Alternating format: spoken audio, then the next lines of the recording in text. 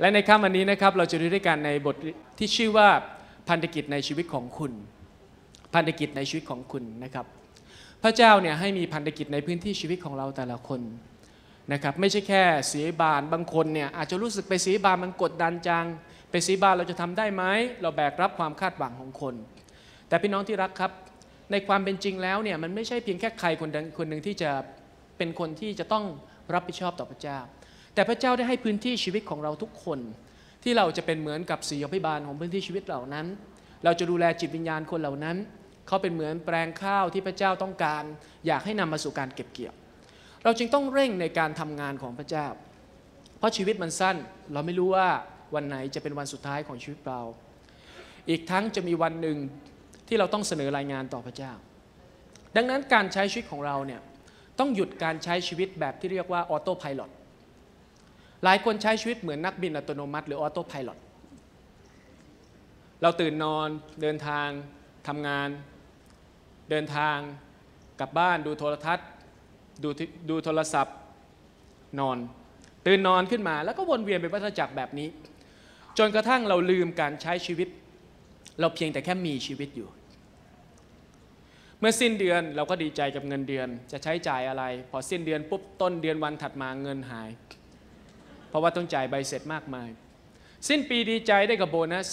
พิจารณาเงินเดือน มีการเลื่อนขั้น แล้วเราก็วนแบบนี้ไปเรื่อยๆ แต่งงานซื้อบ้านมีลูกแก่แล้วก็จากโลกนี้ไป เราใช้ชีวิตบางวันเนี่ยถามว่าในรอบสัปดาห์ที่ผ่านมาบางวันเราทำอะไรไปบ้างบางทีเราลืมไปเลยว่าเอ๊ะสัปดาห์ที่ผ่านมาเราทำอะไรที่มีนัยสำคัญบางอย่างบ้าง เพราะว่าเราใช้ชีวิตแบบที่เรียกว่าออโต้พายロชีวิตมันเลื่อนไปตามระบบกลจักรแล้วก็วนไปตามวัฏจักรแบบนี้ โดยที่เราหลงลืมสิ่งที่สำคัญของการเดินทางก็คือจุดมุ่งหมายของการเดินทาง เราจึงเพียงแค่มีชีวิตแต่ไม่ได้ใช้ชีวิต พระเยซูได้บอกว่าเรามีจุดมุ่งหมายของการเดินทางในชีวิตนี้ มากกว่าเพียงแค่การมีชีวิต พระองค์ต้องการในชีวิตเราถูกลงทุน ถูกใช้สำหรับการเกิดดอกออกผลที่มากกว่าชีวิตเดียว ถ้ามีชีวิตเดียวปลูกเม็ดข้าวหวานไปในดิน เสร็จแล้วเม็ดข้าวตายแล้วจบนั่นเรียกว่าขาดทุน แต่ถ้ามาเมล็ดข้าวมเมล็ดเดียวนั้นตกในดินเปื่อยเน่า แล้วงอกขึ้นเป็นต้นไม้ เป็นต้นข้าวที่ออกรวงมากมาย นั่นเรียกว่ากำไร ถ้าหากชีวิตเราที่ได้รับความรอดในพระเยซูคริสต์ถูกหวานลงในดินเสร็จแล้วตายจากโลกนี้ไป เป็นเพียงแค่เมล็ดเดียว นั่นเรียกว่าเมล็ดที่ขาดทุนจริงๆ แต่ถ้าหากเราได้ถูกหวานลงและกลายเป็นต้นข้าวที่มีรวงงอกงาม นั่นเรียกว่าชีวิตที่มีกำไรเอเมนไหมครับ พระเยซูได้พูดถึงภาพของทุ่งนาที่รอการเก็บเกี่ยว ในพระธรรมลูกาบทที่ 10 ได้พูดแต่ละข้อแต่ละข้อดังนี้ครับ ในข้อที่หนึ่งบอกว่า ภายหลังเหตุการณ์เหล่านั้น พระเยซูทรงแต่งตั้งอีก 72 คน และทรงใช้พวกเขาออกไปเป็นคู่ๆล่วงหน้าไปก่อนพระองค์ เข้าไปทุกเมือง และทุกตำบลที่พระองค์จะเสด็จไปนั้น พระเยซูส่งสาวก 70 คนไปเป็นคู่ๆให้ล่วงหน้าไปก่อนพระองค์ เมื่อพระองค์จะไปเมืองไหน พระองค์ก็จะส่งสาวกไปนะครับทั้งหมดกระจายไป 36 คู่ ไปในเมืองที่พระองค์จะไปเยี่ยมเยียน งานของพระเยซูไม่ได้ใช้เวลาหลักๆ อยู่แค่เฉพาะในธรรมศาลา แต่พระเยซูออกไปสู่หมู่บ้านที่ผู้คนอาศัยอยู่ พระองค์ออกไปเยี่ยมเยียนผู้คน นี่คืองานพันธกิจในพื้นที่ชีวิตหรือ Marketplace เป็นพื้นที่ชีวิตที่เราเป็นผู้เตรียมทางของพระเยซู เขาไม่ได้เชื่อเพราะเราแต่เราเป็นผู้เตรียมทางสำหรับผู้ที่จะทำให้เขาเชื่อคือพระเยซูคริสต์นั่นเอง พระเยซูจะมาและพระองค์ให้เกียรติเราเป็นผู้เตรียมทางของพระองค์ ในข้อสองบัมพีบอกต่อไปว่า พระองค์ตรัสกับเขาว่า ข้าวที่ต้องเกี่ยวนั้นมีมาก แต่คนงานยังน้อยอยู่ ข้าวมีมากเหลือเกิน แต่คนงานนั้นยังน้อยจริง ๆ พระเยซูเปรียบเทียบภาพจิตวิญญาณคนเป็นเหมือนต้นข้าว เพราะว่าสำหรับสังคมยิว สังคมเกษตรในเวลานั้น ข้าวถ้าหากไม่รีบเกี่ยวให้ทันเวลา ข้าวก็จะสูญเสียและล่วงหล่นไป การเก็บเกี่ยวจึงถือว่าเป็นงานเร่งด่วน และมีความสำคัญต่อชีวิตของครอบครัวในอนาคต ยิ่งเก็บเกี่ยวช้าพืชผลก็จะเสียหาย พระเยซูบอกว่าข้าวที่ต้องเกี่ยวนั้นมีมาก นั่นแสดงให้เห็นว่ามีคนเปิดใจต่อเรื่องพระเจ้าจิตวิญญาณที่ถูกเตรียมไว้ให้พร้อมนั้นเป็นจำนวนมาก แน่นอนเราจะพบกับคนที่ปิดใจ แต่พระเยซูบอกว่ากระนั้น คนที่เปิดใจก็ยังมีอยู่เป็นจำนวนมาก อย่าให้ท่านท้อถอยหรือหยุดอยู่กับบางคนที่เขาไม่พร้อม และไม่ใช่เวลาของเขา เพราะยังมีอีกคนจำนวนมากที่รอคอย และนี่เป็นเวลาที่เขาควรจะได้ยินเดไหมไหมครับ ข้าวที่เกี่ยวนั้นมีมาก แต่คนงานยังน้อยอยู่ ข่าวดีคือทุ่งนาเหลืองอลาม แต่ข่าวร้ายก็คือคนงานยังน้อยเกินไป ปัญหาของงานพระเจ้าอาจจะไม่ใช่ปัญหาเรื่องทุ่งนา เราอาจจะคิดว่าคนในละแวกนี้ไม่ตอบสนอง คนในละแวกนี้เขาไม่พร้อมสำหรับพระกิตติคุณ แต่พระคัมภีร์ได้บอกว่าปัญหาไม่ได้อยู่ที่ทุ่งนา แต่ปัญหาอยู่ที่เราขาดคนงาน ในโลกใบนี้มีคนเสียชีวิต วันละ1นึ่งแสนสองหมื่นคน วันละ1นึ่งแสนสองหมื่นคน หมายความว่าทุกหนึ่งวินาทีจะมีคนเสียชีวิตหนึ่งคน ประเทศไทยซึ่งเขาบอกว่าเป็นประเทศที่มีความสุขมากที่สุดประเทศหนึ่งในโลก แต่พี่น้องทราบไหมครับว่าในปี 2016 ที่ผ่านมา ประเทศไทยของเรามีอัตราการฆ่าตัวตายสูงเป็นอันดับ 3 ของโลก ปีหนึ่ง4,200 คน รองจากแค่สวีเดนกับญี่ปุ่น ถัดมาก็คือประเทศไทย เราเห็นสิ่งเหล่านี้เกิดขึ้นในสังคมที่มีความเจริญมากขึ้นทางวัตถุทางด้านการเงิน แต่จิตใจคนนั้นกลับต้องการความช่วยเหลือ ทุกวันจะมีคนคนไทยฆ่าตัวตาย 11 คน ในแผนที่ประเทศไทยของเรา เรามีตำบลทั้งหมด 2,200 ตำบล แต่ 75%ของตำบลเหล่านั้นไม่มีแม้แต่คริสตจักรแห่งเดียว หมายความว่า 1,700 ตำบลในประเทศไทยของเรา หรือพื้นที่ 75%ของประเทศไทยไม่มีคริสตจักรอยู่เลย คริสตจักรอยู่ในแค่เฉพาะพื้นที่สีเขียว และเราต้องการคนจำนวนมากที่มีหัวใจที่พร้อมเป็นคนเก็บเกี่ยวทุ่งนาของพระเยซู ถ้าไม่มีคริสตจักรคนเหล่านี้ เขาจะไปรู้จักพระเจ้าได้อย่างไร เขาจะไปเข้าร่วมรับการสร้างชีวิตให้เติบโตได้อย่างไร พระเยซูเลยบอกว่าข้าวที่ต้องเกี่ยวนั้นมากนะนะ แต่คนงานยังน้อยอยู่ ทางออกหนึ่งพระเยซูบอกว่าจงอ้อนวอน ต่อองค์พระผู้เป็นเจ้าผู้เป็นเจ้าของนา ความกดดันทั้งสิ้นไม่ได้อยู่ที่เรา แต่เราอธิษฐานพึ่งพาพระเจ้าด้วยความเชื่อและด้วยใจที่ร้อนรนคำว่าจงอ้อนวอนภาษาเดิมใช้คำว่าร้องอย่างเอาเป็นเอาตาย เป็นการร้องด้วยความรู้สึกแบบจริงจัง ต้องการอยากจะเห็นสิ่งนี้ประสบความสำเร็จ อยากจะเห็นพระเจ้าส่งคนงานมา ช่วยเหลือคนจำนวนมากที่ปราศจากความหวัง และไม่รู้ว่าชีวิตโลกหน้าจะไปที่ไหน พระเยซูขอให้เราอธิษฐานที่พระเจ้าจะส่งคนงาน พระเยซูต้องการให้เราเปลี่ยนผู้ร่วมนมัสการเป็นคนงานสำหรับการเก็บเกี่ยว พระเยซูต้องการให้เราเปลี่ยนจากผู้ที่ร่วมการประชุม เป็นคนงานสำหรับการรับใช้พระเยซูเอเมนไหมครับคริสตจักรจึงต้องสร้างคนจึงต้องส่งคน ริสตจักรจึงไม่ได้เป็นเพียงแต่ที่สร้างความบันเทิงใจให้กับผู้คน หรือเป็นเพียงแค่อาสมฝ่ายวิญญาณ ที่คนจะรู้สึกสบายใจเพื่อมาเข้า เสร็จแล้วก็จากไป แต่เราต้องการอยากจะเป็นที่ที่สร้างคนงานสำหรับการเก็บเกี่ยวในพื้นที่ชีวิตของเขาเอง ในลูกาบทที่ 10ข้อ3พระเยซูตรัสบอกว่าไปเถอะเป็นคำเชิงรุกให้ออกไป อย่ามัวนั่งรออยู่ เราใช้ท่านออกไปคำว่าท่านนี้หมายความว่าเป็นพวกท่าน เป็นคำพหูพจน์ ไม่ใช่แค่คนใดคนหนึ่ง ไม่ใช่งานของใคร แต่เป็นงานของเราทุกคน เราใช้พวกท่านออกไปเป็นเหมือนลูกแกะท่ามกลางฝูงหมาป่า พระเยซูส่งเราออกไปเป็นเหมือนลูกแกะท่ามกลางฝูงหมาป่า อยู่ในโลกเรากำลังเผชิญการทดสอบการล่อลวง เราต้องบริสุทธิ์และเราต้องฉลาด ถ้าคือเสียงเพียงแค่บริสุทธิ์แต่ไม่ฉลาด นั่นก็เป็นสิ่งที่ทำให้เราไม่สามารถจะเป็นอุปกรณ์ให้พระเจ้าใช้ได้อย่างเกิดผลและถูกต้องที่สุด พระคัมภีร์ใช้คำว่า อัครทูต ภาษาเดิมหมายถึงผู้ที่ถูกส่งออกไป ผมคิดว่าเราทุกคนถูกส่งออกไป เราเป็นทุกคนถูกส่งโดยพระเยซูคริสต์เป็นผู้รับใช้ของพระเยซูคริสต์และในลูกาบทที่ 10ข้อ4บอกว่าอย่าเอาถุงเงิน ย่ามหรือรองเท้าไป และอย่าทักทายใครตามทาง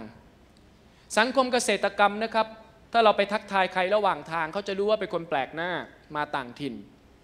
และคนก็จะต้อนรับเขาเราเข้าสู่ในบ้าน ให้กินอาหารที่บ้านของเขาเพราะรู้ว่าเป็นคนต่างถิ่น คนยิวเขาจะต้อนรับคนแปลกหน้าแบบนี้ พระเยซูบอกว่าไปอย่าไปเอาถุงเงิน อย่าไปเอาย่าม อย่าไปเอารองเท้าไปอย่าทักทายใครตามทาง เพราะว่าพระเยซูไม่ต้องการให้เขากังวลกับเรื่องของปากท้องเกินไป พระเยซูไม่ได้ต่อต้านเรื่องการเตรียมความพร้อมเตรียมทรัพย์สินเงินทอง เพราะพระเจ้าของเราก็บอกสร้างตึกก็ต้องคำนวณราคา ไม่งั้นจะสร้างไม่เสร็จ พระเยซูไม่ได้ต่อต้านเรื่องการสะสมเพื่อไปสำหรับงานรับใช้ แต่พระเยซูสอนเราในตอนนี้บอกว่า แม้คุณจะสะสมอย่างไร ถ้าคุณไม่คลายความกังวล คุณก็จะกังวลอยู่ดี พระเยซูบอกว่าในงานรับใช้ที่เราไป พระเจ้าจะดูแลผู้รับใช้ของพระองค์ และพันธกิจถ้าหากเราทำพันธกิจในพื้นที่ชีวิตของเรา เราจะมีสิ่งที่ดูแลความเป็นอยู่ในชีวิตของเรา เพราะเรามีงานทำในพื้นที่ชีวิตเหล่านั้น เราไม่จำเป็นที่จะต้องเป็นเจ้าหน้าที่คริสตจักรพร้อมกันทุกคนร้อยเปอร์เซ็นต์แต่เราสามารถที่จะเป็นผู้รับใช้พระเจ้าเต็มเวลาได้ในพื้นที่ชีวิตของเราเอง ผมได้ดูสถิติ อัตราของการใช้จ่ายเงินของคริสตจักร กับจำนวนคนหนึ่งคนที่กลับใจและรับบัพติศมา ในประเทศสหรัฐอเมริกา ผมได้คุยกับคริสตจักรแห่งหนึ่งที่มีอัตราที่ดีมากๆเขาเอางบประมาณทั้งหมดของคริสตจักรตลอด 10 ปีมา ทั้งค่าอาคารสถานที่ค่าไฟ ค่าใช้จ่ายเรื่องการจ้างต่างๆ การซื้อของการตกแต่งอะไรทุกอย่างมารวมเป็นงบประมาณ 10 ปีที่ผ่านมา และหารจากจำนวนคนที่บัพติศมา พบว่าในโบสถ์ของเขาเนี่ยซึ่งเป็นโบสถ์ที่ทำได้ดีมากๆ มีคนบัพติศมาหมื่นคนใน 10 ปี เริ่มจากห้องรับแขกห้องหนึ่งบัพติศมาคนไป1 0,000 คนใน 10 ปี แต่ค่าใช้จ่ายสำหรับการบัพติศมาคนหนึ่งคนเนี่ยตกอยู่ที่ 5,000 เหรียญสหรัฐอเมริกา หมายความว่าใช้เงินทั้งหมดประมาณ 1 8 0 0 0 0 บาทสำหรับ 1 บัพติศมาในน้ำนี่คือค่าใช้จ่ายกับลงทุนสถานที่อะไรต่างๆ แต่พี่น้องทราบไหมครับว่า โบสถ์นี้แม้จะเป็น 1 8 0 0 0 0 บาทนะครับ แต่โบสถ์ในอเมริกาค่าเฉลี่ยของการบัพติศมาในน้ำหนึ่งคนคือ 3 0 0แสนเหรียญสหรัฐอเมริกา หมายความว่า 10 ล้านบาทตอนหนึ่งบัพติศมาในน้ำเขาก็เลยคิดกันว่าเราต้องคิดใหม่แล้ว ถ้าเขาจะ rich nation ของเขาประเทศของเขาให้คนมารู้จักพระเจ้า ถ้าต้องใช้โบสถ์ที่ใช้งบประมาณเยอะขนาดนี้จะเอาเงินที่ไหนมาทำแล้วก็มีโมเดลหนึ่งเข้ามาก็คือการรับใช้พระเจ้าในพื้นที่ชีวิตปกติ พี่น้องเสีบานในโบสถ์แห่งนี้ได้ไปดูงานที่อินเดียเขาพบว่าจริง ๆ แล้วผู้ที่รับใช้พระเจ้าดูแลคริสตจักรกลุ่มเล็ก ๆ นั้น ไม่จำเป็นต้องเป็นคนที่มีความสามารถในการบริหารจัดการสูง เพียงแต่คุณมีหัวใจและคุณซื่อตรงกับพระคัมภีร์เชื่อฟังพระคัมภีร์ พระเจ้าไม่ได้เขียนให้เพียงเฉพาะคนที่มีการศึกษาสูงเข้าใจ พระคัมภีร์เขียนมาเมื่อเพื่อมนุษย์ทุกคน และโบสถ์ที่อินเดียนั้นนะครับค่าใช้จ่ายต่อการกลับใจการรับบัพติศมาในน้ำเท่าไหร่รู้ไหมครับ 20 เซนหรือประมาณ 7 บาทเท่านั้นเอง เทียบกับโบสถ์อเมริกาค่าเฉลี่ยอยู่ที่คนละ 10 ล้านบาท แต่โบสถ์ในอินเดียที่เป็นโบสถ์บ้านๆพื้นๆทุกคนทำงาน และทุกคนมาร่วมกันแสวงหาพระเจ้าในช่วงเย็นใช้เพียงแค่คนละ 7 บาทเท่านั้นเอง พระเยซูบอกว่าถ้าเราทำธุรกิจถูกวิธี เราจะไม่ขาดแคลนเองไหมครับ ถ้าเราทุกคนเป็นผู้รับใช้พระเจ้าในพื้นที่ชีวิตของเรา เราทุกคนจะไม่ต้องรับการว่าจ้างให้เป็นเจ้าหน้าที่คริสตจักรก็รับใช้พระเจ้าได้ในพื้นที่ชีวิตของเรา และจะมีคนจำนวนมากมายที่ได้กลับใจและพบความรอดในพระเยซูคริสต์พระเยซูจึงสอนวิธีการรับใช้พระเจ้าให้กับเราตั้งแต่แรกอยู่แล้ว คือการรับใช้พระเจ้าในพื้นที่ชีวิตของเรานั่นเอง ดังนั้นส่วนต่อมาที่ผมอยากจะนำพี่น้องคือเราต้องปรับเปลี่ยนแนวคิดอะไรบางอย่างละเราต้องปรับเปลี่ยนแนวคิดของเราสู่พันธกิจในพื้นที่ชีวิตของเรา ว่าเราจะปรับไปสู่จุดนั้นได้อย่างไร โลกเราทุกวันนี้นะครับเป็นโลกที่มีการเปลี่ยนแปลงของสังคมอย่างสูงมากๆ ทุ่งนาในสมัยของเราไม่เหมือนทุ่งนาในสมัยของพระเยซู ทุ่งนาในสมัยของเราไม่เหมือนกับทุ่งนาในสมัยลูกของเรา เราอยู่ในทุ่งนาที่มีความแตกต่างกันสูงมากคริสตจักรจึงต้องยินดียอมจะปรับตัวเองเข้ากับทุ่งนาที่เปลี่ยนแปลงไป โลกทุกวันนี้เชื่อมโยงกันมีอินเทอร์เน็ต มีโซเชียลมีเดียมีโทรศัพท์มือถือ มันเปลี่ยนการรับรู้ของผู้คนในสังคมไปอย่างสิ้นเชิง คนสามารถจะเลือกรับช่องทางได้ ปัจจุบันสถิติการดู YouTube สูงกว่าทีวีดิจิตอลและสิ่งที่น่าอัศจรรย์คือคนต่างจังหวัดดู YouTube มากกว่าคนกรุงเทพ คนสามารถเลือกได้ว่าเราอยากจะดูสื่อไหนไม่อยากดูสื่อไหน และมันจะเกิดการพัฒนาความคิดอยู่บนสื่อ เฉพาะที่เราสามารถเลือกเอาได้ทำไมคนไทยถึงมีความแตกแยกความคิดทางการเมืองสูง เพราะเราเลือกสื่อได้ เราเลือกสื่อที่เป็นสีที่เราอยากดูได้พอเราฟังสื่อแบบเลือกได้ก็ทำให้เราขาดความคิดอีกฝากหนึ่งที่เราไม่ได้ดู มันทำให้สังคมในอนาคตจะเป็นสังคมที่คนเลือกรับเฉพาะช่องทาง และเกิดความแตกต่างแบบเฉพาะกลุ่ม มิชชันนารีในโลกสมัยก่อน คือมิชชันนารีที่เดินทางจากประเทศหนึ่งไปสู่ประเทศหนึ่ง แต่มิชชันนารีในโลกยุคสมัยปัจจุบัน คือมิชชันนารีที่จะเดินทางข้ามกลุ่มคนในประเทศตัวเอง ผมจะเข้าถึงน้องๆนักเรียนนักศึกษา แม้เราจะพยายามแค่ไหน จะไปเปลี่ยนทรงผมเปลี่ยนเสื้อผ้าเปลี่ยนกางเกงเราก็เข้าถึงเขาไม่ได้ เพราะวิธีคิดของเราไม่เหมือนกัน เข้าไปเขาจะเรียกน้าน้ามาทำอะไร เราก็ต้องการมิชชันนารีกับกลุ่มวัยรุ่น คนที่เขามีหัวใจคนที่เขามีความเข้าใจรุ่นของเขา ไม่มีใครสื่อสารกับวัยรุ่นได้ดี เท่ากับวัยรุ่นด้วยกันเอเมนไหมครับ ไม่มีศิษยาภิบาลคนไหนสื่อสารกับแม่ค้าได้ดี เท่าแม่ค้าด้วยกันเอเมนไหมครับเพราะฉะนั้นในโลกยุคใหม่จะต้องการมิชชันนารีเฉพาะกลุ่ม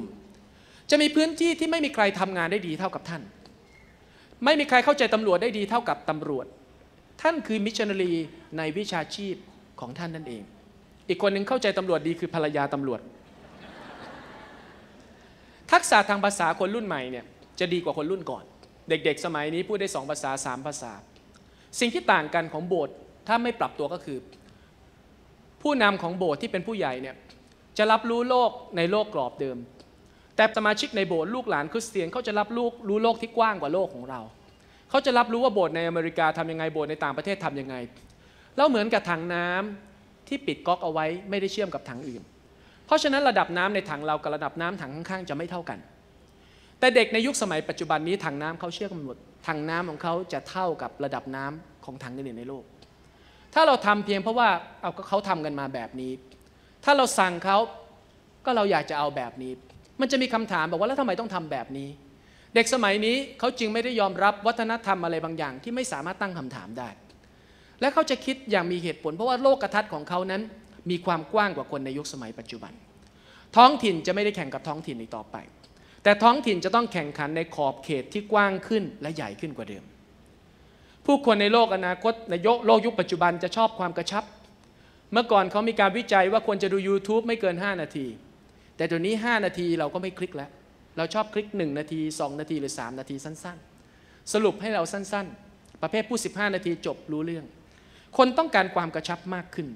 ไม่ต้องเสียเวลาลำพบท คนแสวงหาความสัมพันธ์แบบเสมือน ไปหาโซเชียลมีเดียเพื่อเติมความต้องการในจิตใจ ถ้าโบสถ์ไหนเน้นเรื่องเกี่ยวกับเฉพาะเนื้อหา คนสามารถจะไปดูออนไลน์ได้ เพราะฉะนั้นจะเป็นความล้มเหลวถ้าโบสถ์เน้นเฉพาะแค่เนื้อหา แต่สองสิ่งที่จะทำให้โบสถ์ยังคงดึงดูดผู้คนได้ ไม่ใช่แค่เนื้อหา สิ่งที่หนึ่งที่ทำให้โบสถ์ดึงดูดผู้คนได้ก็คือความรัก เพราะการดูโบสถ์ออนไลน์ไม่สามารถมีความสัมพันธ์กับผู้คนได้จริง โบสถ์ออนไลน์ไม่สามารถแทนที่โบสถ์จริง ๆ ได้เอเมนไหมครับ มันเป็นเพียงแค่เครื่องช่วยในช่วงซีซั่นบางฤดูกาลของชีวิต แต่มันแทนที่โบสถ์จริง ๆ ไม่ได้ เพราะมันไม่มีความสัมพันธ์กับบุคคลจริง ๆสิ่งที่ทำให้คริสตจักรยังคงเติบโตในโลกยุคปัจจุบันและอนาคตได้คือความรัก เอเมนไหมครับ และสิ่งที่สองที่จะทำให้คริสตจักรสามารถดึงดูดผู้คนได้ก็คือ การทำให้คนรู้ว่ามีพันธกิจที่มีคุณค่าอยู่ในโบสถ์มนุษย์มีสิ่งที่เป็นความต้องการในจิตใจอย่างหนึ่งที่จะถูกเติมเต็มก็คือ เราต้องการอยากมีชีวิต เพื่อสิ่งที่ใหญ่กว่าตัวของเรา จริงไหมครับ เราอยากจะมีชีวิตเพื่อสิ่งที่มันมีคุณค่า เราอยากจะมีชีวิตเพื่อสร้าง Impact ที่มากกว่า การตายไปและอยู่เพียงเพื่อตัวเอง คนเห็นแก่ตัวจะไม่มีทางมีวันอิ่มใจเลย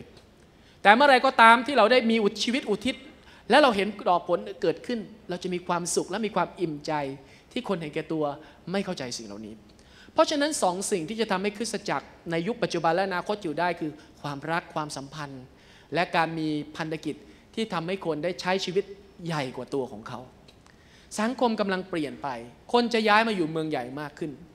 ในโลกเมืองใหญ่ของเราจะมีการปรับตัว เราเห็นว่าในสมัยปี 1770 ในโลกนี้มีเมืองที่มีประชากรเกิน 1 ล้านคนแค่เมืองเดียวคือปักกิ่ง ในปี 1770 แต่ในปัจจุบันปี 2015 ที่ผ่านมา มีเมืองที่ประชากรเกิน 1 ล้านคน จากเดิมมี 1 เมืองปัจจุบันมี 501 เมือง เมืองที่เกิน 5 ล้านคนมี 84 เมือง เมืองที่เกิน 10 ล้านคนมี 35 เมือง และหนึ่งในนั้นคือกรุงเทพของเรา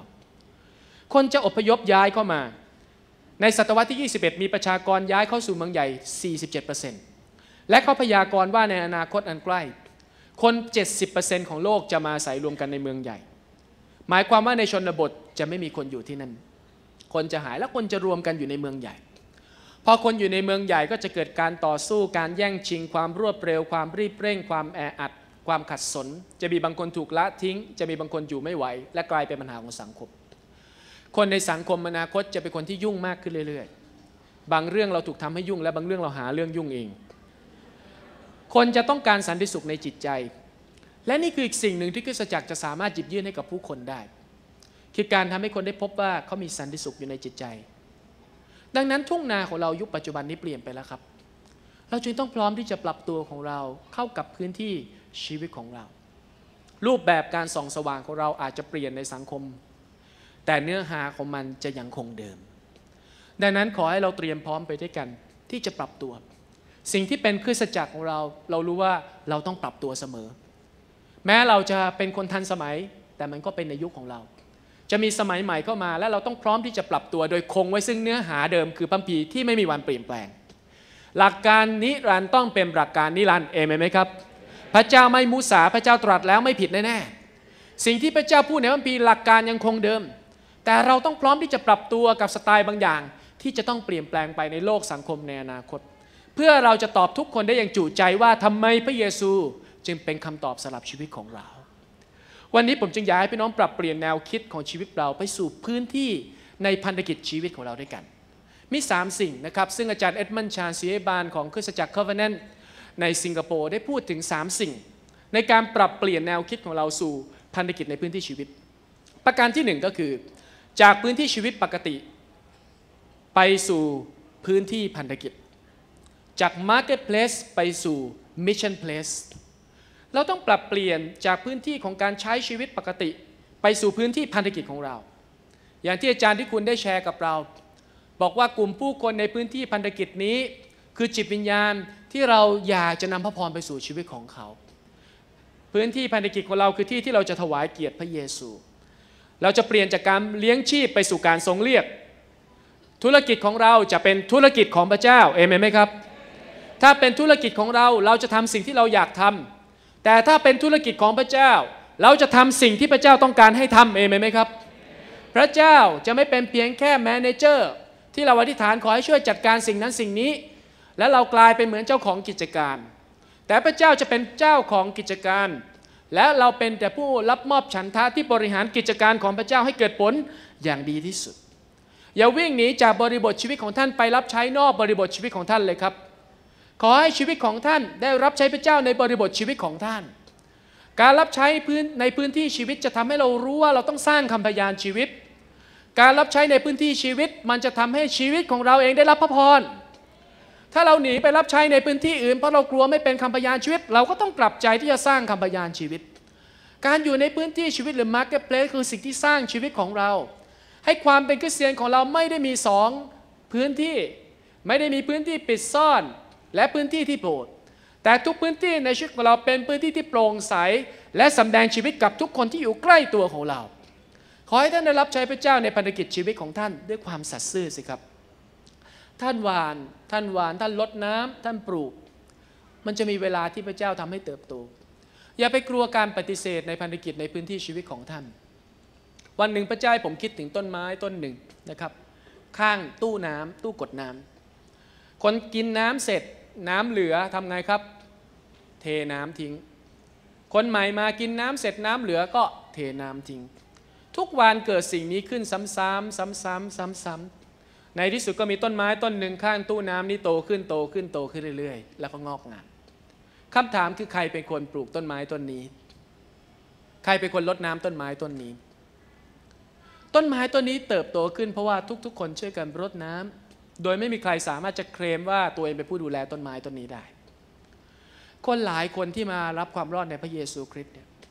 มันก็มาจากการที่ชีวิตคริสเตียนคนหนึ่งได้สำแดงความดีกับเขา แม้วันนี้เขายังไม่โตขึ้นเป็นต้นไม้ใหญ่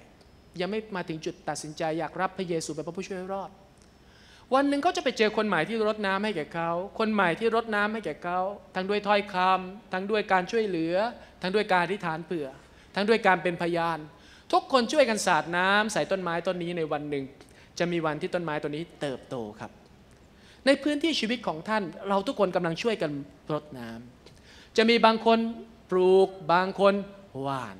และพระเจ้าจะเป็นผู้ที่ทำให้สิ่งเหล่านี้เติบโต เพราะฉะนั้นใน Marketplace ของท่าน ขอให้มันเป็น Mission Place สำหรับท่านเอเมนไหมครับ และรับใช้พระเจ้าอย่างสัตย์ซื่อทำต่อไปทำต่อไปทำต่อไป เราไม่รู้หรอกว่าต้นไม้ต้นไหนจะเติบโตเมื่อไหร่ แต่ถ้าต้นไม้ได้รับการดูแลอย่างดี ต้นไม้จะเติบโตเอเมนไหมครับ นั่นคือสิ่งที่เป็นการปรับเปลี่ยนพื้นที่พันธกิจที่มีความสำคัญขอบคุณสำหรับป้ายไฟนะครับจันเล็กนะครับ ประการที่สองนะครับ การปรับเปลี่ยนประการที่สองก็คือ จากความน่าเบื่อไปสู่การสร้างความเปลี่ยนแปลง เราตื่นเช้าทุกวันไปทำงาน มันคือวันที่เราจะสร้างการเปลี่ยนแปลงอะไรบางอย่าง เอเมนไหมครับ ไม่ใช่เราเกลียดวันจันทร์เราเบื่อวันจันทร์เราไม่อยากตื่นไปทำงาน แต่เราตื่นมาทำงานทุกวันเพราะเรารู้สึกว่าเรามีความสุขที่เราได้นำการเปลี่ยนแปลงไปสู่สังคมให้สังคมนี้ดีขึ้นกว่าเดิม งานไม่ใช่คำแช่งสาปเองไหมครับงานคือพระพรเองไหมครับ บอกคนข้างงานคือพระพร พระเจ้าไม่ได้ให้งานไปคำแช่งสาปเรามีความสุขกับการได้ทำงานพระเจ้าเองไหมครับ แต่งานที่เป็นคำแช่งสาปคืองานที่ปราศจากจุดมุ่งหมาย งานที่ปราศจากวัตถุประสงค์ ถ้าเราทำงานเพียงแค่ให้ได้เงินเดือนนั่นคืองานที่น่าเบื่อหน่าย แต่ถ้าเราทำงานเพื่อสร้างคุณค่าอะไรบางอย่างให้กับโลกใบนี้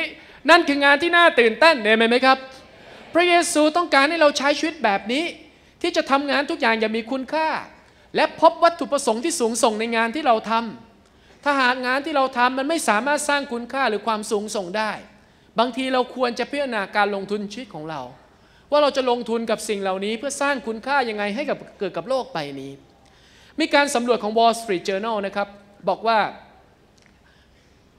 50%ของผู้บริหารองค์กร ไม่พอใจงานของตัวเอง ผู้บริหารไม่พอใจงานตัวเอง 50% พอไปสำรวจคนทำงานพนักงาน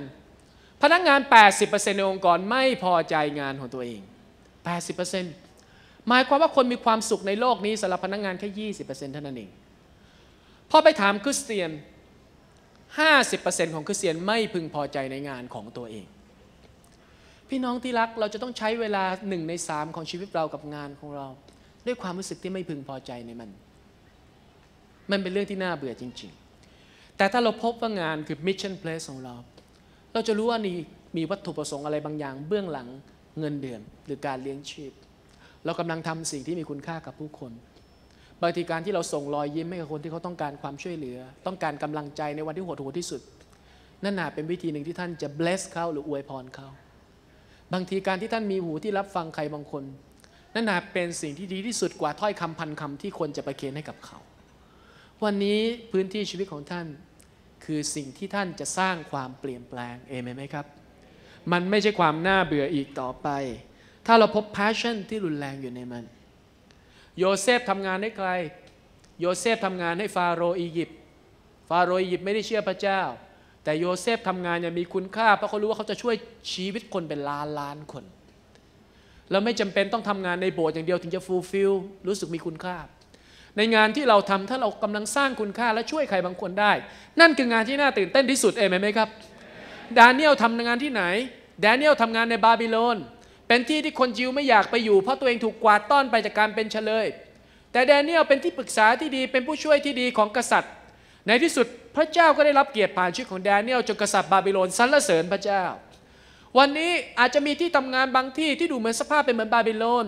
สภาพเป็นเหมือนกับอียิปต์เป็นสภาพสถานที่ที่ท่านไม่อยากที่จะทำงาน แต่ถ้าเป็นการทรงเรียกพระเจ้าของท่านลองมองหา มันมีวัตถุประสงค์อะไรบางอย่างของพระเจ้าซ่อนอยู่ในสิ่งเหล่านั้น และทำให้เราตื่นจากที่นอนทุกวันแบบเด้งดึงเด้งดึงทำให้เราตื่นมาด้วยความสุขความชื่นชมยินดีเอเมนไหมครับสี่ประเภทของคริสเตียนในองค์กร ประเภทที่หนึ่งก็คือ พวกที่เพียงพยายามเอาตัวให้รอดในที่ทำงาน ขอให้แค่รอดดังไฟในที่ทำงานก็พอ ไม่ถูกไล่ออกทำดีให้เสมอเสมอตัวกับค่าเฉลี่ยทั่วไป นี่คือประเภทที่หนึ่งจ่ายแค่ไหนก็ทำแค่นั้น ประเภทที่สองคือสำแดงชีวิตแบบพระคัมภีร์ในที่ทำงาน เขาไม่ได้แค่จะเอาตัวให้รอด แต่เขาต้องการสำแดงชีวิตในที่ทำงาน เมื่อเขาไปที่ไหนเขาตั้งเป้าหมายว่าคนต้องเห็นพระเยซูคริสต์ในชีวิตของเขา ชีวิตเขาต้องเป็นพระคัมภีร์ที่มีชีวิตอยู่พี่ซาโลได้สอนลูกชายเขาแล้วก็แชร์ในที่ประชุมที่โบกเราบอกว่า อย่าไปถามว่าไปออกงานเขาจะให้เท่าไหร่ แต่ให้ถามอย่างแรกเราจะให้อะไรกับเขาก่อน เพราะถ้าเราตั้งคำถามไม่แรกเขาจ่ายเท่าไหร่เราให้เท่านั้นเนี่ยสุดท้ายเราจะเป็นคนไม่สามารถเกิน ให้เกินกว่าสิ่งที่คนคาดหวังได้เลย แทนที่เราจะไปสนใจว่าเขาจะตอบแทนเราอย่างไร ให้เราสนใจว่าเราจะให้อะไรกับเขาก่อน เพราะมันมีหลักของมันมันมีตาช่างของมันในโลกใบนี้ ถ้าคุณให้สิ่งที่ดีกับคนนะผู้คนเนี่ยอาจจะมีหลายคนที่เขาเพิกเฉยไม่เป็นไร แต่โลกจะตอบแทนคุณ ท่านตวงให้คนอื่นด้วยทนานใดพระเจ้าจะตวงให้ท่านด้วยทนานนั้นอย่างยัดสันแน่นพูนล้น อย่าไปถามคำถามแรกว่าใครจะให้กับคุณเท่าไหร่ คุณจะให้เขาเท่านี้ แต่ให้ถามไปแล้วคุณจะให้กับเขาเท่าไหร่ แล้วเมื่อคุณสร้างคุณค่ากับผู้คนทำดีกับผู้คนโลกจะตอบแทนคุณเองไหมครับ และคนประเภทที่สามเป็นคนที่นำการเปลี่ยนแปลงที่ดีมาสู่ที่ทำงานเขาไม่ใช่แค่สำแดงชีวิตของเขาแต่เขาสร้างการเปลี่ยนแปลงอะไรบางอย่างให้เกิดขึ้นกับผู้คนรอบตัวของเขา มันมีพลังมากกว่านั้น เขาไม่ใช่แค่นำตัวเองแต่เขานำคนอื่นได้เอเมนไหมครับ และคนที่สี่ก็คือคนที่นำพระคริสต์มาสู่ที่ทำงาน เขานำพระคริสต์มาสู่ที่ทำงานทำให้ที่ทำงานได้รู้ว่ามันมีสันติสุขมีพระเจ้าที่ทรงพระชนอยู่ที่ช่วยเหลือเขาและเปลี่ยนแปลงชีวิตของเขาได้ ถ้าเรามีชีวิตแบบนี้แบบ B แบบนี้คือ B blessing นะเราต้องการเป็นพรเรามี B blessing เราจะปลอดภัยจาก 2 B B ที่หนึ่งที่เราปลอดภัยคือ B burn out หมดไฟ ถ้าเราเป็น blessing กับคนเราจะเราจะเราจะชนะการ burn out เราจะไม่หมดไฟ เราจะเราจะรู้ถึงคุณค่าที่เราได้ให้ เราทำให้คนมีความสุขเราก็มีความสุข เราจะไม่รู้สึก burn out เราจะไม่รู้สึกท้อใจเฮ้ยทำไมเราทำสิ่งดีแล้วมันไม่เกิดอะไรขึ้น เพราะเราสร้างสิ่งดีให้กับผู้คนเรา bless คน เราอวยพรคนเราไม่หวังการตอบแทน เราไม่ได้หวังการตอบสนอง ตอบแทนเป็นผลรางวัล เมื่อเรา bless เราจะชนะการ burn out และเมื่อเรา bless เราจะชนะอีกสิ่งหนึ่งคือเราจะชนะ busyness คือความยุ่ง เกินไป ถ้าเรามีเป้าว่าเราจะ bless อะไรบางอย่างเนี่ยเราจะตัดสิ่งที่มันไม่ใช่เป้านั้นออก เราจะหลุดออกจากตารางเวลาและการยุ่งเหยิงที่มากเกินไป และสิ่งนี้มันจะเติมชีวิตเราให้สดใหม่ทุกวัน ขอให้เมื่อกลับจากค่ายวันพุธเป็นวันที่ท่านตื่นเต้นที่สุดในที่ทำงานของท่านเอเมนไหมครับ เมื่อก่อนไปถึงกดบัตรแบบคาบเส้นเลย ลองดูได้ไหมครับ วันพุธไปออฟฟิศก่อนเพื่อนเลยดีไหมครับทำให้เจ้านายตะลึงไงไหมครับ ให้รอปภตะลึงเลยดีไหมครับนะขอพระเจ้าช่วยพวกเราเนาะเราจะสร้างการเปลี่ยนแปลง ไปทำงานวันพุธไปด้วยไฟของพระเจ้าเองไหมครับนะเอาแบบว่าโอ้โหทุกอย่างนี่ตอบสนองอย่างดีมีชีวิตที่มีความตื่นเต้นนะครับ เอาให้หมาข้างบ้านเห่าเลยนะครับว่าเฮ้ยนี่ร้อยวันพันปีไม่เคยตื่นเช้าแบบนี้นะครับ ออกจากบ้านเร็วเหลือเกินนะครับ และสิ่งที่สามสุดท้ายนะครับ คือจากพื้นที่สบาย ไปสู่พื้นที่แห่งการทรงเรียก จากคอมฟอร์ z โซนไปสู่ calling zone เราจะเปลี่ยนจากพื้นที่สบายที่เราอยู่ตัวแล้ว ไปสู่พื้นที่ที่พระเจ้าเรียกให้เราทำอะไรบางอย่าง ในการทรงเรียกมีเวลาเสมอครับ พระเจ้าเรียกดาวิดตั้งแต่ดาวิดเป็นเด็ก แต่กว่าพระเจ้าจะยกชูดาวิดดาวิดโต และผ่านช่วงเวลาของการถูกปฏิเสธเป็นเวลายาวนาน ผมคิดว่าการทรงเรียกกับการยกชู อาจจะเป็นเวลาที่แยกจากกัน ถ้าท่านได้สัตย์ซื่อในซีรีส์ชีวิตของท่าน ในซีรีส์การทำงานของท่าน ในพื้นที่ชีวิตท่าน พระเจ้าเรียกท่านมานานไม่เห็นการยกชูในเวลานี้ ถ้าท่านสัตย์ซื่อมันจะมาถึงในเวลาของการยกชูเอเมนไหมครับ เนหะมีย์ไม่อยู่ใน comfort zone ในสุสา ในเมืองสบายของเขา เนฮามีตัดสินใจขอพระราชา ที่จะออกมาสู่เยรูซาเล็มเพื่อจะมาสร้างกำแพงเมือง เขาออกจากคอมฟอร์ทโซนมาสู่พื้นที่ที่เป็นคอมแบทโซนใช่ไหมมีการต่อสู้ เนฮามีอาจจะคิดว่าเราอุตส่าห์มาทำยังมาขัดแย้งกันเองอีก คนอิสราเอลก็ไปเข้ากับศัตรูอีก หมายจะฆ่าถูกลอบปองร้าย มีคนบนต่อว่าต่าง ๆ นานา ถ้าเนหะมีย์คิดเพียงแต่ว่าเราอุตส่าห์ทำแต่เขาไม่คิดว่าพระเจ้าเรียกให้เขาทำเขาก็คงจะน้อยใจ เลิกทำมันซะดีกว่าถ้าเป็นแบบนี้ แต่เนหะมีย์รู้ว่านี่คือ calling สำหรับชีวิตของเขา คือการทรงเรียกสำหรับเขา และเขาก็ทำสิ่งนั้น เอสเตอร์เป็นราชินีแสนสบาย ใช้ชีวิตอย่างมีความสุข แต่เอสเตอร์ยินดีเสี่ยงชีวิตของเธอ เพื่อไปช่วยอิสราเอลด้วยการเข้าไปทัดทานกษัตริย์ทำให้อิสราเอลรอดจากหายนะ วันนี้ calling zone ของท่านคือที่ไหน พื้นที่ชีวิตของท่านคือที่ไหน อย่าหนีจากมันเลยครับ อย่าไปเพียงแต่ไปประกาศที่อื่น ข้ามไปเป็นมิชชันนารีที่อื่นทำในพื้นที่ชีวิตของท่านให้ดีที่สุด การเติบโตที่แท้จริงต้องเกิดออกมาจากข้างใน และขยายออกไปสู่ข้างนอก ถ้าท่านจะลุกขึ้นสองสว่างเมื่อกลับจากค่ายศัตรูฝ่ายวิญญาณก็จะตัดขัดขวางท่านอย่างเต็มกำลังเช่นเดียวกัน เพราะเราอยู่ในพื้นที่ของการต่อสู้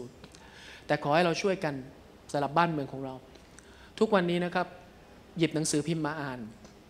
มีแต่ข่าวที่มันน่าเศร้าใจ ข่าวคนถูกฆ่าพ่อข่มขืนลูก แม่เอาลูกไปร่วมเพศกันถ่ายคลิปวิดีโอขายให้ฝรั่งดูเป็นรายได้ เห็นข่าวอาชญากรรม เห็นข่าวคนซ้อมกันวัยรุ่นถูกจับคนขายยาบ้า หน้าข่าวหนังสือพิมพ์ซื้อมาสิครับ แต่ละฉบับ ข่าวดีก็คือว่าต้นไม้ใบหวย คนใบสามารถที่จะใบหวยได้นะมีคนถูกหวยสำล้อถูกหวยนี่คือข่าวดีของหนังสือพิมพ์ แล้วก็เต็มไปด้วยข่าวร้ายและข่าวดีเหล่านี้ มันก็ไม่ใช่ข่าวดีที่เป็นข่าวดีจริง ๆ ทุกวันเราดูสิ่งเหล่านี้แล้วจิตใจของเราบางทีเช้าๆมาเนี่ยเดี๋ยวนี้ผมบางครั้งเนี่ย เลือกที่จะเปิดข่าวเลย เพราะบางข่าวเปิดมาแล้วมันใจมันวุบลงไปเลยตอนเช้า รู้สึกว่าเราเริ่มต้นด้วยข่าวร้ายข่าวร้ายข่าวร้ายข่าวร้ายและเห็นสิ่งเหล่านี้วันหนึ่งพระเจ้าก็มาหนุนใจผมบอกว่า อย่าไปหดหู่กับข่าวเหล่านี้ ให้เราดูมันแล้วใช้มันเป็นบทเฝ้าเดี่ยวของเรา ให้มันเป็นสิ่งสร้างแรงบันดาลใจให้กับชีวิตของเราอาจารย์สลันพูดบอกว่าอย่ามัวแช่งด่าความมืดใช่ไหมคุณควรจะลุกขึ้นและจุดเทียนสักเล่มหนึ่ง เราจะพูดถึงอะไรต่างๆ ในบ้านเมืองในสังคมที่มีปัญหา คนไทยของเรายังมีสิ่งดีกว่าประเทศอีกหลายประเทศในโลกครับ ยังมีอีกหลายประเทศที่มีปัญหา แต่ไม่ได้หมายความว่าเราพึงพอใจกับสิ่งที่เราเป็น เราควรต้องดีขึ้นกว่านี้ แต่ใครจะทำให้มันดีขึ้นกว่านี้ จะให้ภาระทั้งหมดตกอยู่กับผู้บริหารประเทศมันก็ไม่ใช่เรื่อง ภาระที่พระเจ้ามอบให้กับเราก็คือพื้นที่ของเรา สัตย์ซื่อกับมันทำมันให้ดีที่สุด เราไม่ใช่เหยื่อแต่เราคือผู้สร้างการเปลี่ยนแปลงเอเมนไหมครับ เรากำลังทำอะไรบางอย่างกับโลกใบนี้ และเราทำได้เอเมนไหมครับ มารจะหลอกให้เราคิดว่ามันเป็นไปไม่ได้ มารจะหลอกทำให้เรารู้สึกท้อถอยทำให้เราเลิกลา แต่ให้ความจริงพระเจ้า จะบอกเราเสมอว่า ถ้าพระเจ้าเรียกเรา พระเจ้าจะช่วยให้เราทำได้เอเมนนะครับ ให้เราอธิษฐานกับพระเจ้าด้วยกัน ในค่ำวันนี้พี่น้องบางท่าน อาจจะอยาก บอกรักพระเจ้า ด้วยการถวายตัวแด่พระองค์ ท่านอยากจะบอกรักพระเจ้า ด้วยการมอบชีวิตของท่านในการเป็นความสว่างให้กับผู้คนในสังคมนี้ วันนี้ท่านตัดสินใจ จะไม่แช่งด่าความมืด แต่จะเลือกลุกขึ้นจุดเทียน แม้เป็นเพียงแค่เล่มเดียว แต่ไฟมูใหญ่ก็เกิดจากเทียนเล่มเดียวได้ ท่านอยากจะถวายตัวกับพระเจ้า ให้พระวิญญาณบริสุทธิ์เป็นผู้เราในหัวใจของท่าน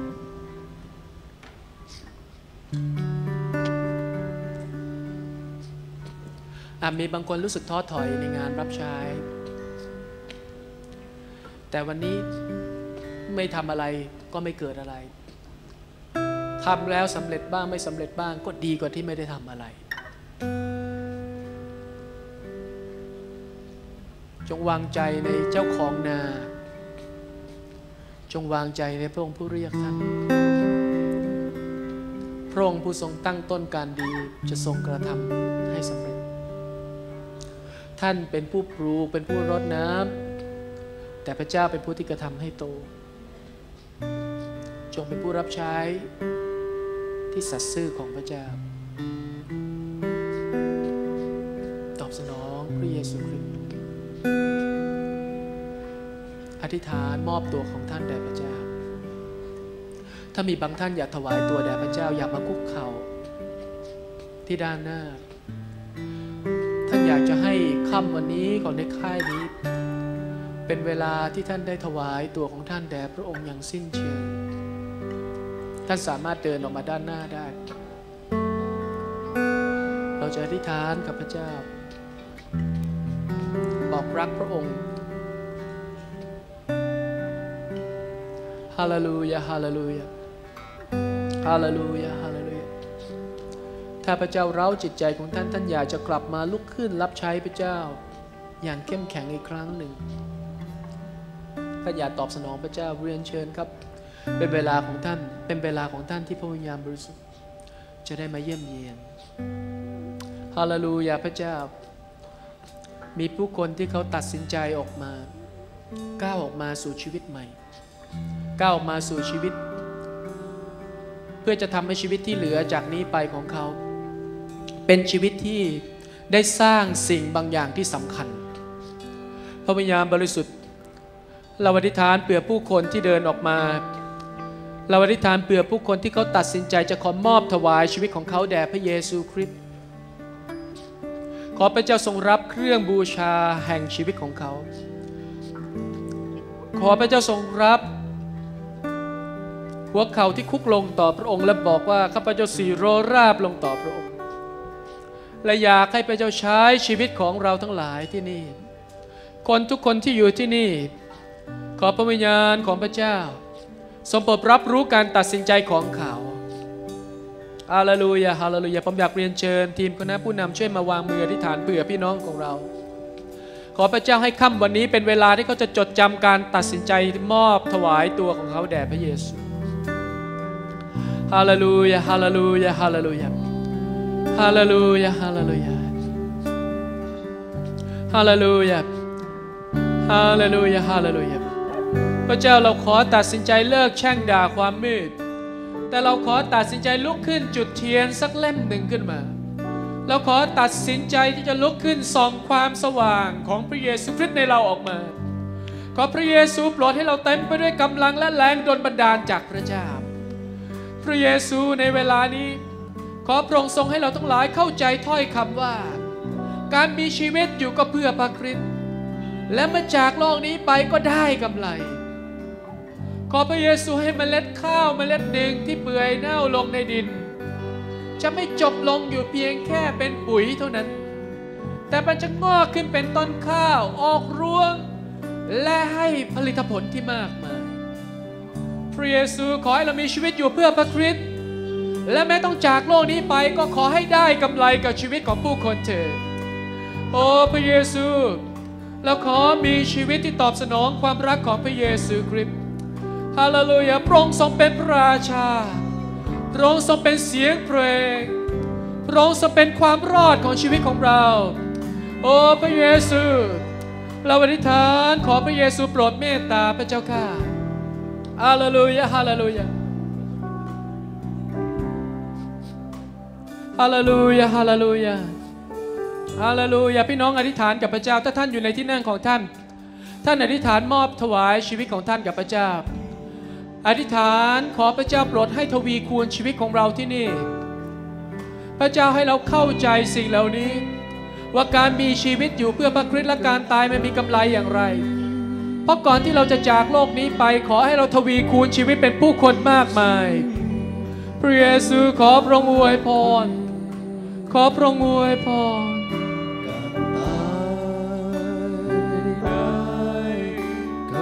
เป็น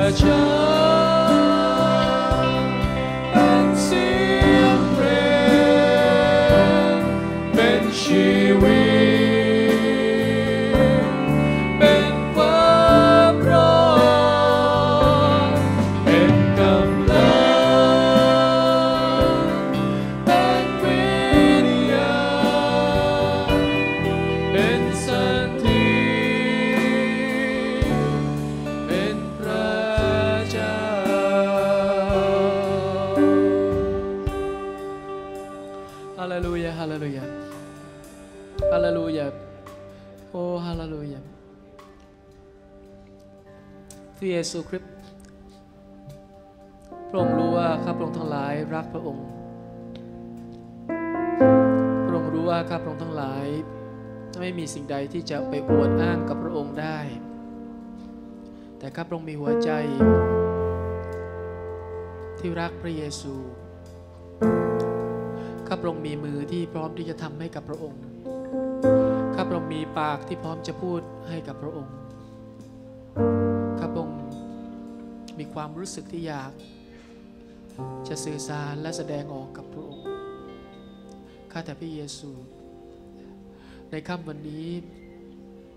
พระองค์รู้ว่าข้าพระองค์รักพระองค์ และขอพระองค์ทรงให้เครื่องบูชาของขนมปังห้าก้อนและปลาสองตัวของเด็กเล็ก ๆ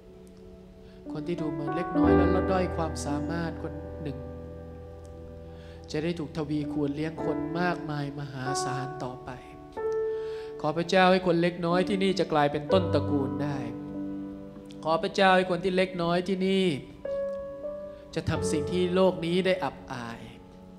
เพราะเรารู้ว่าพระเจ้าจะบรรจุของมีค่าอยู่ในภาชนะดินคือชีวิตของเราทุกคนที่นี่พระเจ้าค่ะแล้วขอมอบถวายช่วยเราตอบสนองความรักของ พระเยซูคริสต์ขอบคุณพระเยซูที่ได้รับใช้พระเยซู ขอบคุณพระเยซูที่ได้ปฏิบัติฮาเลลูยาฮาเลลูยาผมอยากให้พี่น้องได้จับมือกับเพื่อนข้างๆอธิษฐานด้วยกันในประการหนึ่ง อธิษฐานเพื่อประเทศไทยของเราและสุดปลายแผ่นดินโลกนี้ อธิษฐานขอพระเจ้าเมตตา ที่จะเห็นความสว่างของพระเจ้าถูกจุดขึ้น และก็เห็นการเปลี่ยนแปลงไปในทางที่ดีขึ้น ข้าแต่พระเยซูคริสต์เราอธิษฐานขอพระเจ้าโปรดเมตตาเราอธิษฐานขอพระเจ้าทรงโปรดจุดความสว่างของพระองค์ขึ้น พระเจ้าให้คนที่ประสบความยากลำบาก ให้เด็กที่ถูกทำร้าย ให้คนที่ถูกทอดทิ้ง ให้ครอบครัวที่แตกแยก ให้คนที่ต้องการความช่วยเหลือของพระเจ้า จะได้รับการเยี่ยมเยียนจากพระเจ้า เราอธิษฐานจากนี้ไปเราจะไม่แช่งด่าความมืดอีกต่อไป แต่เราจะอวยพรประเทศนี้ เราจะอธิษฐานเพื่อประเทศนี้